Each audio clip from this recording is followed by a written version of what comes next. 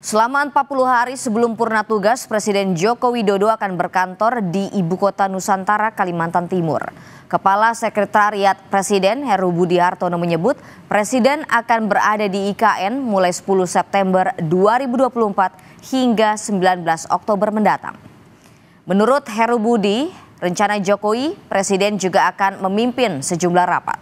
Selain itu, IKN akan menjadi titik keberangkatan Presiden untuk kunjungan kerja ke berbagai daerah.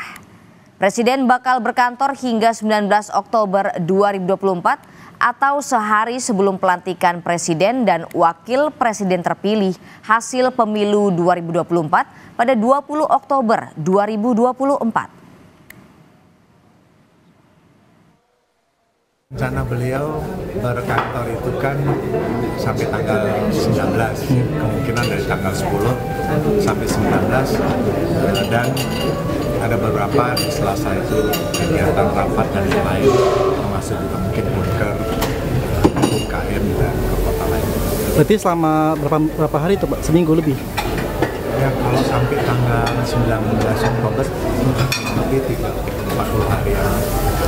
Bapak Presiden ke IKN tuh biar pembangunan cepat atau bagaimana sih Pak? Ya beliau uh, kerja di sana sambil mengundang